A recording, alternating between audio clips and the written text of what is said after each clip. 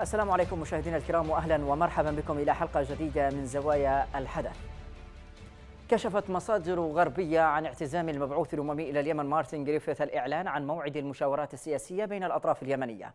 وقالت المصادر لصحيفة الشرق الأوسط قالت إن موعد المشاورات سيتم تحديده خلال إحاطة سيقدمها مارتن لمجلس الأمن يوم الخميس المقبل. يأتي هذا بعد مغادرة المبعوث الأممي صنعاء دون إحراز أي تقدم في إقناع ميليشيا الحوثي بالقبول بخطة الحديدة الأممية.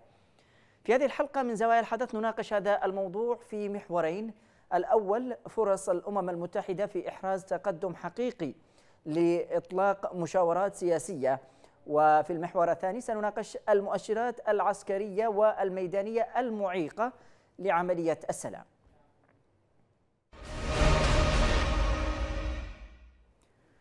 إذا نهاية الأسبوع الجاري من المحتمل أن يقدم المبعوث الأممي إحاطته لمجلس الأمن حول نتائج جولاته الدبلوماسية وقد تزامنت التحركات الأممية مع تصعيد عسكري من قبل ميليشيا الحوثي هددت فيه حركة الملاحة الدولية وصعبت من مرور ناقلات النفط السعودية في باب المندب ولم يفصح بعد عن نتائج لقاء المبعوث الأممي بزعيم ميليشيا الحوثي في الوقت الذي ما زالت فيه الشرعية تؤكد أن ميليشيا الحوثي تستخدم ميناء الحديدة منصة إرهابية وهو ما يساهم في نظرها بتقويض الحل السياسي. نتابع هذا التقرير ومن ثم نبدأ النقاش مع ضيوفنا. تحاول الأمم المتحدة فتح نافذة سلام في جدار الحرب وتواصل لأجل ذلك كما تحدث تحركاتها جهودها الدبلوماسية لبدء عقد مفاوضات يمنية تفضي إلى تسوية سياسية. مصادر غربية كشفت لوسائل إعلام إقليمية عن عزم مارتن غريفيث الإعلان عن موعد قادم للمفاوضات وقالت المصادر لصحيفة الشرق الأوسط إن المبعوث الأممي ربما يعلن عن موعد المفاوضات الخميس المقبل خلال إحاطته التي سيقدمها لمجلس الأمن. ولم تفصح المصادر عن زمن محدد لكن تسريبات سابقة لصحف سعودية نسبت تصريحات لمارتن بأن موعد المفاوضات ربما يكون بعد عيد الأضحى المقبل. الوعود الأممية بشأن مفاوضات قادمة لم تعد مصدر ثقة الكثير من المراقبين خصوصا وأن التحركات الدبلوماسية الأممية نفسها لم تحقق أي تقدم بخصوص خطتها بشأن الحديدة بل إن ميليشيا الحوثي استهدفت ناقلتي نفط سعوديتين قرب باب المندب بالتزامن مع زيارة المبعوث الأممي لصنعاء والتقائه بزعيم ميليشيا الحوثي. التحركات الأممية ووعودها تأتي في ظل تصريحات عدائية بين طهران وواشنطن حول مضيق هرمز. واتهم الرئيس الأمريكي ترامب طهران أيضا بلعب سلوك سيء في اليمن في الوقت الذي أدان فيه الاتحاد الأوروبي استهداف السفن في البحر الأحمر. المؤشرات السياسية والميدانية تشير إلى عدم قبول الميليشيا الانسحاب من ميناء الحديدة ولا حتى قدرة الشرعية والتحالف على حسم معركة الحديدة عسكريا. وطالبت السعودية بتنفيذ قرارات مجلس الأمن للحيلولة دون استخدام الحوثي الحديدة كمنصة للعمليات الإرهابية. لكن الأكيد أن المدنيين سيظلون فاتورة المراوحة بين اللا حرب ولا سلام إذا نبدأ النقاش وأرحب بضيفي من برلين من ألمانيا المحلل السياسي دكتور علي العبسي. دكتور مساء الخير. مساء النور. أهلا بك دكتور. إذا تحركات دبلوماسية حثيثة دكتور للأمم المتحدة بالتوازي مع تصعيد عسكري لميليشيا الحوثي وإصرار الشرعية على تحرير محافظة الحديدة. في هذا السباق بين السياسة والحرب ما هي نتائج نتائج يعني هذه على أو ما هي نتائج على الأزمة اليمنية التي ستنعكس؟ أعتقد أن الأمم المتحدة تتجاهل الواقع الموجود على على الأرض يعني أعتقد هناك محاولات المبعوث الأممي المتكررة ومفاوضاته المكوكية بين صنعاء والرياض وعدن نعم. وحتى الآن وانها يعني منذ شهرين لم تفني لم لم لم تؤدي إلى أي نتائج مثمرة، لم تؤدي إلى اي اي أي حلحلة للوضع، ومع ذلك مستمرين في ذلك محاوله منهم لمنع عملية تحرير تحرير الحديدة لأغراض أعتقد لا يعني لا أستطيع أن أقولها يعني هل هي هل هي فعلا أغراض إنسانية حقيقية ام هل وراها أسباب سياسية أخرى للقوى الدولية؟ لكن الواقع يقول أن الحرب قادمة قادمة. معركه معركة الحديدة قادمة قادمة. لا مفر منها. آه، الحكومة الشرعية ودول التحالف العربي مصممه على ذلك. نعم. والقرار قد اتخذ. الآن مسألة تأجيل القرار نسبيا هو عائده إلى ضغوطات الأمم المتحدة التي تحاول الإيحاء بأن هناك حل حل الوضع سياسيا أن هناك حل قادم رغم أن الوقائع ونتائج المباحثات لا لا لا, لا تقول بذلك. والنتيجة أمامنا وضع ملتبس. لا ندري ماذا سيؤدي. أعتقد مبعوث الامم المتحده يحاول أن يوحي بأن هناك حل حل ما هناك حل ما هناك مفاوضات قادمة رغم أن الواقع يقول أن ذلك ليس صحيحا نعم. وبالتالي أعتقد الأمم المتحدة تسير في خط مغاير لما يجري على أرض الواقع نعم. وعلينا أن ننتظر ماذا ماذا ماذا سيكون رد فعل الحكومة الشرعية وقوى التحالف العربي طيب دكتور يعني آه، في آه، مصادر لصحيفة الشرق الأوسط. هذه المصادر تؤكد بأن المبعوث الأممي ربما يعلن عن موعد لبدء المفاوضات. السؤال هنا كيف آه، يعني سيذهب المبعوث الأممي لإعلان موعد لمشاورات؟ في المقابل هناك تصلب في المواقف يعني إصرار من قبل الحوثيين بعدم تسليم المدينة وبالطرف المقابل الحكومة الشرعية تشترط تسليم مدينة الحديدة والميناء يعني كيف يتعامل المبعوث الأممي مع هذا الموقف والمصادر هذه تؤكد أنه سيعلن بدء أو موعد لبدء المشاورات على أي أساس؟ أعتقد أن المبعوث الأممي يحاول رمي الكرة إلى ملعب الشرعية وملعب الحوثيين. هو يريد يقول أنه يبذل جهود، هو يريد أن يقول أن هناك أمل في مباحثات سياسية معينة، هو يريد أن يوحي للعالم والقوى الدولية والمجتمع الدولي أن هناك املا ما يمكن من خلاله إجراء مباحثات وحل حل الأزمة اليمنية، نعم. وبذلك هو يحرج الأطراف. هو إذا اعلن إذا أعلن عن وجود مباحثات بعد أسبوع أو بعد أسبوعين فيجب على الحكومة الشرعية ويجب على الطرف الآخر الحوثي أن يعلنوا موقفا من هذه الموعد هل سيقبلون؟ هل سيرفضون؟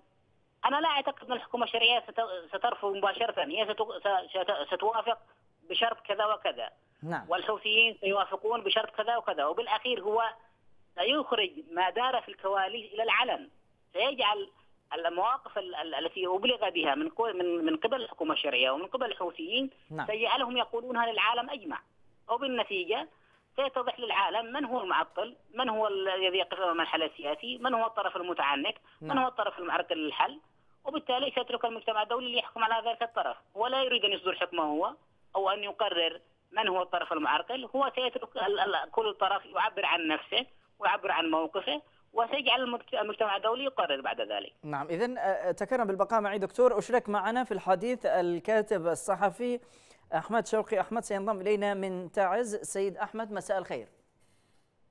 مساء النور أخي الكريم. أهلا بك آه، سيد أحمد، يعني الحديث عن موعد لبدء المفاوضات، هل يأتي في إطار محاولة الأمم المتحدة تطويل آه، الأمل بتسوية قادمة؟ أم أن هناك آه، مؤشرات عن مفاوضات قادمة لربما هذه المرة؟ يعني الواضح من خلال المسلك الذي سار فيه المبعوث الاممي خلال الشهرين الماضيين انها هي فقط محاولات يعني لجر النفس أو يعني ترحيل الكارثة التي تحدث الآن يعني بسبب يعني اطاله امد الحرب في الحديدة. وأيضا يعني إسقاط واجب تمارسه الأمم المتحدة عبر المبعوث الأممي فيما يخص ملف الحديدة، لكن في حقيقة الأمر ليس هناك يعني مثلا اشتراطات واضحة من قبل الأمم المتحدة ولا تنازلات واضحة أيضا من قبل الحوثيين أو حتى يعني يعني من باب من باب المزايدة حتى الحكومة الشرعية. في الحقيقة هناك فقط مناورات من قبل الطرف الحوثي يعني آه، فتح المجال للجوانب الإنسانية والأعمال الإغاثية آه، من أجل الاستفادة من هذه يعني المكاتب آه، وعادة أيضا لبنات صفوفهم ويعني تحقيق انجازات ايا كانت سواء كانت من خلال مثلا اتصالهم بالجانب الإيراني وتوفير بعض ال يعني الإمكانات اللوجستية والمادية آه، وكذلك الأموال المزورة التي تم الحديث عنها قبل أيام نعم. وسواء كان من خلال ترتيب اوضاعهم ميدانيا في المعركة فبالتالي هذه المحاولة من المبعوث الاممي يعني إعلان موعد للمفاوضات أعتقد آه، أنها يعني آه، قد تبوء يعني بالفشل وقد يعني يتأخر هذا الفشل بسبب إنه آه، لا أعتقد أن الحكومة الشرعية سوف ترفض بشكل واضح عمليه التفاوض. الطرف الحوثي أيضا يستفيد من قضية أنه طرف انقلابي وبالتالي هو غير مسؤول مسؤولية يعني رسمية عن مواقفه هو يعني سيتنصل بكل بساطة مما كان قد أعلن من قبل من دعوته للتفاوض نعم. في حل حلت الأوضاع الإنسانية وكذلك تقديم تنازلات من قبل الحكومة الشرعية وتوفير ضمانات من قبل دول التحالف. فيما يخص الحكومة الشرعية سيد أحمد يعني ما زالت آه، مصر آه، الحكومة الشرعية على تسليم الحديدة ومينائها كشرط لبدء التسوية السياسية. ما تحليلك لموقف الشرعية في ضوء آه، المتغيرات الحاصلة؟ أعتقد إن يعني الدبلوماسية الشرعية تفتقر بالمفردات السياسية التي كنا قد تعودنا عليها خلال المرحلة الماضية وهي الاستناد للمرجعيات الدولية والأممية المتعلقة بالنزاع في اليمن. وعلى رأس ذلك يعني القرار 22 16 يعني أعتقد إنه مرجعية مهمة جدا كان يجب على الحكومة الشرعية أن تعزز مسألة الاستناد إليها في أي حل سياسي. وهذا كان سيعفي الحكومة الشرعية من الدخول في جدل حول مساله تسليم الميناء والمدينة اولا أم التفاوض بتسليم الميناء والمدينة اولا. أعتقد أن الحكومة الشرعية الآن فيما يخص الجانب السياسي والجانب الدبلوماسي تعاني من قصور واضح ليست قادرة على إدارة خطاب سياسي ودبلوماسي متكامل ومنسجم مع ذاته ومع طبيعة الموقف على الأرض ومع يعني طبيعة وشرعية وجودها كحكومة شرعية. هي نعم. الآن تتفاوض في التفاصيل وأعتقد أن من المخ من الخطأ أن أن تطرح التفاصيل قبل أن تشرع في بدء المفاوضات التي يجب أن تستند بالأساس إلى المرجعيات الدولية والأممية والوطنية التي كانت تنادي بها الحكومة الشرعية خلال سنوات الحرب الثلاث. نعم اذا ابقى معي آه، سيد أحمد أعود للدكتور علي العبسي آه، دكتور الخميس المقبل المبعوث الأممي سوف يتقدم أو يقدم إحاطة لمجلس الأمن عن نتائج جهوده في آه، اليمن. يعني ما قراءتكم لما يعني سيقدمه المبعوث الأممي من خلال يعني جولاته السابقة بين اليمن والرياض؟ يعني ما هي النتائج التي سيقدمها؟ أعتقد إنه لن يقدم شيئا مختلفا عما قدمه في المرات السابقة، هو سيقول أن هناك نية لدى الأطراف في إجراء مباحثات، سيقول أن هناك إمكانية لحل المسألة سلميا، هو سي سيقول عموميات. سيعطي تقريرا عن العموميات وعن حسن النوايا وعن الاستعداد الأطراف آه، لحل سلمي. لكنه في الواقع ليس ليس ليس هذا الواقع يعني. هو سيعطي سيعبر عن النوايا التي يقولها الأطراف والأطراف كلها الأطراف كلها جميع الأطراف تعبر عن استعدادها للحل السلمي ولكن كل واحد يضع يضع شروطه لهذا الحل السلمي كل طرف يضع تخيلاته وتصوراته لهذا الحل السلمي هل المبعوث الأممي يعني يعي فعلا الاختلافات الواقعة بين أطراف الصراع في اليمن أو هو أو المسألة فقط أو أن المسألة فقط هي عبارة عن محاولة لإنقاذ جهوده أو محاولة لإنقاذ جهوده الشخصية نعم. وتقديم ذلك للأمم المتحدة باعتبار أن هذا إنجاز شخصي له.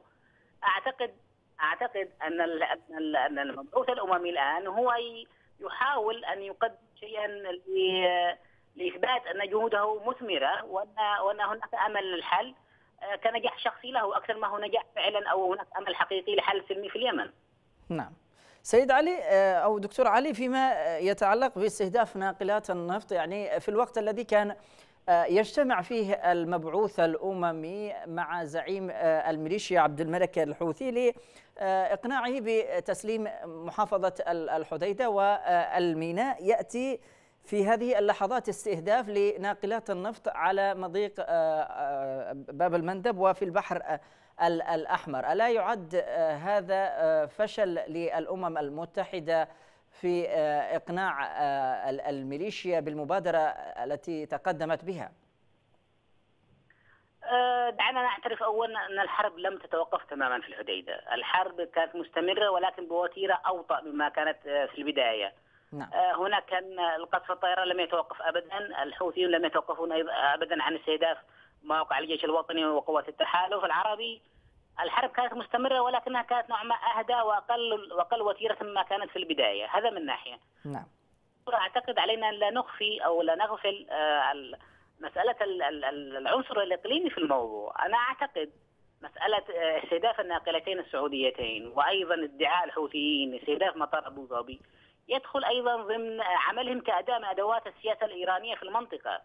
أعتقد أن إيران أرادت أن توصل رسالة من خلال الحوثيين للمجتمع الدولي وللقوى الإقليمية بأنها قادرة على التأثير نعم. بأنها لديها القدرة ليس فقط على إغلاق مضيق هرمز ولكن أيضا على إغلاق مضيق باب المندب وأن لها قدرة على استهداف الأطراف العربية بطريقة غير مباشرة نعم وبذلك يعني أعتقد الحوثيين لم يكونوا يفكروا آه، كقوه وطنية في البداية بقدر ما كانوا يفكرون كحليف لإيران وكاداه من أدوات إيران في المنطقة. وهذا اتضح يعني يعني كان واضحا للغاية.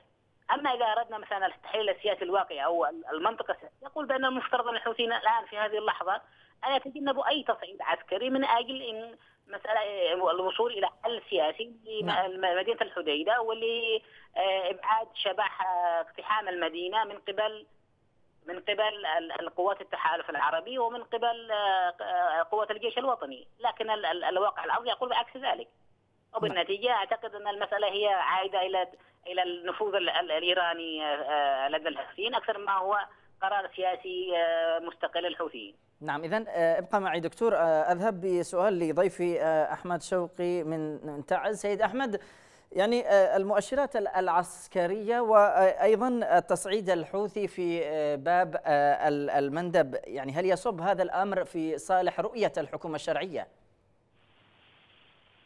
لم أسمع السؤال بشكل جيد يعني فيما يتعلق بالتصعيد الأخير وأيضا آه، يعني التصعيد الحوثي تحديدا في مضيق باب المندب هل يصب هذا في آه، مصلحة رؤية آه، أو في صالح رؤية الحكومة الشرعية؟ أعتقد أن الحكومة الشرعية لم تستطع كما قلت لك ان تبلور خطابا سياسيا ودبلوماسيا يليق بحجم يعني حضورها الآن على الميدان. وبالتالي آه، ما يعني ما تتحدث عنه أنت الآن من استهداف للناقلات السعودية وكذلك يعني نشاط الحوثيين في باب المندب وكذلك آه، أيضا آه، ما يتردد حول استهداف مواقع في دولة الإمارات العربية المتحدة نعم. هو كله لا يثير أي استنفار عالمي لأنه هذا حكم الأمر الواقع الآن كما يتصرف الحوثيون وكذلك في المقابل الجهد الدبلوماسي والجهد السياسي والجهد الميداني للطرف الآخر آه، يبدو أنه في آه، يعني في آه، أدنى مستوياته. بالتالي نحن الآن المبعوث الاممي أو الحوثيين عفوا نعم. حينما يتحدثون في ما يخص قضية المشاورات فهم يتحدثون من واقع أنهم آه، يتصرفون بهذه الطريقة وليس من واقع أنه يفترض بهم أن يتصرفوا بشكل مختلف.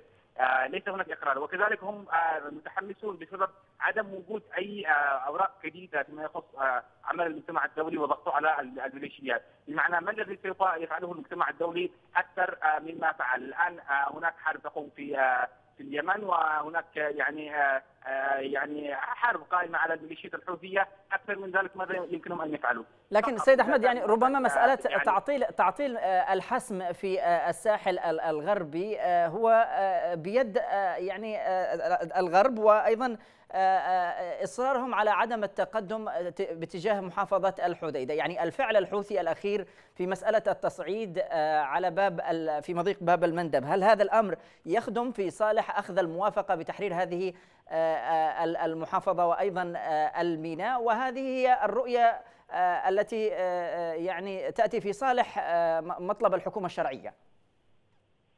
أعتقد أن يعني الأمم المتحدة والقوى المسيطرة عليها لا تعمل بهذه الكيفية، لا تعمل بكيفية آه، ما الذي يجب أن يحدث وإنما ما الذي سوف نحصل عليه مما يعني من فعلنا لما آه، يتوافق مع أو يتلائم مع الظروف القائمة.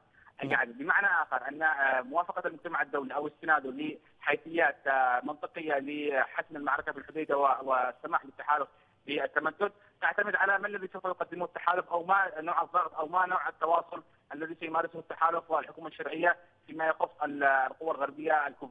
آه ما دام أن هناك يعني آه ليس هناك مثلا أوراق آه تلعب عليها هذه الدول التحالف والحكومة الشرعية، نعم. بالتالي التحالف مهما حدث من انتهاكات أو المجتمع الدولي مهما حدث من انتهاكات لن يكون متحمسا لمسألة حسم الملف الحديدة إلا كما قلت لك إذا ارتفع مستوى المجهود السياسي والدبلوماسي للاطراف المناوره الحوثيين وأوراق الضغط التي يجب ان أن يقوموا بها. أعتقد أن دخول طرف ثالث ربما على يعني على اللعبة قد قد يعني يصنع تقدما ما لكن في الوقت الحالي مثل هذا القرار هو نعم. مرهون من الناحية النظرية والناحية الشكلية باستجابة الحوثيين والحكومة الشرعية للتفاوض أو عدم استجابتهما. آه، يمكن أن يستند على أساس نظري آه، إذا رفض الحوثيين التفاوض حل مساله الانسحاب من الميناء والمدينه مدينة الحديده ربما يمكن أن يجعلوا هذا أساس نظري لضروره السماح للتحالف العربي والقوات الحكومية الشرعية بحسم المعركة بالحديده. نعم، اذا أذهب بالسؤال للدكتور علي العبسي، يعني دكتور استهداف لناقلات النفط في البحر الأحمر وأيضا آه، تصعيد آه، أو تهديد من قبل إيران بإغلاق مضيق آه، هرمز والتصريحات أيضا العدائية المتبادلة ما بين واشنطن وطهران. يعني هل لهذا الأمر سيكون تأثيرات على الأزمة اليمنية وعلى فرص السلام في اليمن؟ بالتأكيد بالتأكيد اليمن تحولت أو الصراع في اليمن تحول منذ فترة طويلة من صراع محلي فقط إلى صراع محلي ذو أبعاد إقليمية والآن أخذ ابعادا دولية. للأسف الشديد اليمن تحولت إلى ميدان لتصفية الحسابات بين القوى الإقليمية والقوى الدولية. الآن إيران تتبجح هي تبجحت بانها سيطرت على العاصمة صنعاء وهي تدعم الحوثيين وهي ويبدو فعلا دعمها هذا أثمر أثمر عن آه، وجود آه، وجود نفوذ لديها في اليمن وبالتالي هي تستخدم هذا النفوذ لتحقيق مصالحها في مصالحها في في المنطقة. ماذا سيكون رد فعل القوى الإقليمية والقوى الدولية؟ أعتقد هذا مسألة أخرى، أعتقد أنها الآن هي هي صاحبة القرار في مسألة تحرير مدينة الحديدة، هل ستقرر فعلا المضي قدما في تحرير الحديدة أم لا؟ هذا السؤال. نعم. إذا آه، وضحت الصورة. أشكرك آه، جزيلا دكتور علي آه، العبسي محلل سياسي. كنت معنا من برلين. وأعود لضيفي أحمد شوقي. يعني سيد أحمد البعض يطرح بأن جهود الأمم المتحدة لم تنجح سوى في يعني إطالة الأزمة تحديدا في محافظة الحديدة. وأوقفت الحسم العسكري تماما. ولم تقنع الحوثي ومما تسبب في آه، إطالة الأزمة وزيادة معاناة المدنيين في هذه المدينة. نعم هذا أمر واقع الآن وليس يعني مجرد حديث عابر لأن معركه الحديدة أخذت وقت أطول من اللازم وأي محاولات يعني آه، حاليا للحسم والحسم السريع بالذات آه، تكلف يعني آه، الكثير من الخسائر البشرية والمادية في مدينة الحديده وكذلك الميناء أيضا. نعم. الميليشيات استفادت من الوقت في إعادة تموضع قواتها على الميدان، كذلك استفادت من الوقت في يعني حلحله بعض المشكلات التي كانت تتعلق فيما يخص الدعم المادي واللوجستي والبشري كذلك لميليشياتها في في جبهة في منطقة الساحل ومحافظة الحديدة آه، لغمت المدينة طبعا بالألغام والمتفجرات والخنادق آه، اذا آه، وضع الميليشيا اليوم بشكل يعني أفضل مما كان قبل شهرين. كذلك الحكومة الشرعية والتحالف أصبحوا مكبلين بهذه الدعوات الأممية والضغوطات الأممية التي تمارس عليهم. أيضا مسألة الجاهزية والقدرة لدى الحكومة الشرعيه والتحالف أصبحت يعني محل نظر في حسم المعركة في وقت قصير خصوصا وأن هناك احاديث حول مسألة ترتيب وتنظيم اوضاع القوات المقاتلة في الساحل وفي يعني تقوم الحديدة. نعم. كذلك المساله الإنسانية الآن اتسعت ومستوى النزوح مرتفع وربما يعني نحتاج لتدخل انساني عاجل في الحديدة والمناطق الأخرى التي فيها نازحين من محافظة الحديدة. نعم. سيد أحمد أيضا إذا إذا أتينا للحديث عن العوامل سيد أحمد إذا أتينا للحديث عن العوامل الحقيقية المعيقة لعملية السلام في اليمن، هل ميليشيا الحوثي فقط هي المعيقة أم أن يعني هناك البعض يرى أن عدم جدية التحالف في في حسم المعركة أيضا عامل مساهم؟ آه، يبدو أنه هناك آه، قدر من آه، مثلا الروية وحتى ربما نسميها التردد لدى قوات التحالف في مساله اتخاذ إجراء انفرادي أو إجراء أحادي أو إجراء غير مستند إلى موافقة دولية في مساله حسم المعركة في الساحل الغربي. وأيضا هناك أيضا مصاعب أخرى ربما تتعلق بالتنسيق فيما بين القوى القائده للقوات الميدانية في في في الحديده وعلى الساحل الغربي. نعم. أعتقد أن هناك أيضا مساله التنسيق السياسي التي كانت يجب أن تحدث بشكل يعني كامل وأن أيضا تتمخض عنها قرارات نهائية في مساله حسم المعركة، وكذلك فيما يخص الجهد الدبلوماسي ليس هناك تنسيق دبلوماسي يعني قوي وفاعل واضح آه، ما بين قوات التحالف فيما بينها بين دول التحالف وكذلك ما بين الحكومة الشرعية ودول التحالف فيما يخص معركة الحديدة، بالتالي نعم. هذا هذا الارتباك السياسي القائم وكذلك الارتباك الميداني البسيط الذي آه، حدث خلال الفترة الماضية يجعل القدرة على حسم المعركة محل النظر. وكذلك ما يخص العامل الإنساني أيضا لعب دورا كبيرا تفاقمت الأزمة الإنسانية. وفي الأخير أعتقد أنه آه، يجب أن تمارس دول التحالف العربي والحكومة الشرعية دورا دبلوماسيا وسياسيا أقوى على المجتمع الدولي. كذلك يجب أن يعني يشتغلوا على عدد من الأوراق التي تكشف الغطاء عن الميليشيات نعم. التركية نعم. وعن دورها في هذه المعركة آه، الدعوات الأخيرة للمبعوث الاممي يعني ننتظر نحن ما سوف تترقب عنه إذا كانت قد الميليشيات استجابت لهذه الدعوة فهذا سيكون هدف في مرمى التحالف العربي وسيكون الآن النقاش حول مسألة ما هو اولا تسليم المدينة أو الميناء أم التفاوض بتسليم المدينة أو الميناء وكذلك آه، موقف الحكومة الشرعية الدبلوماسي كما قلت لك إذا تم تقلوه بشكل اسلام قد يخفف من التاثير الذي تحدثه الميليشيات في نعم. المجتمع الدولي من الناحية الإعلامية والسياسية. نعم. نعم اذا أشكرك آه، جزيلا الكاتب الصحفي أحمد شوقي. أحمد في نهاية هذه الحلقة وأيضا آه، مشاهدينا في الختام أشكر ضيفي من برلين المحلل السياسي الدكتور علي العبسي. وفي الختام تقبلوا تحياتي وتحيات معد هذه الحلقة الزميل ماهر أبو المجد وهي أيضا من جميع أفراد طاقم العمل حتى نلتقيكم في حلقة قادمة أترككم في رعاية الله.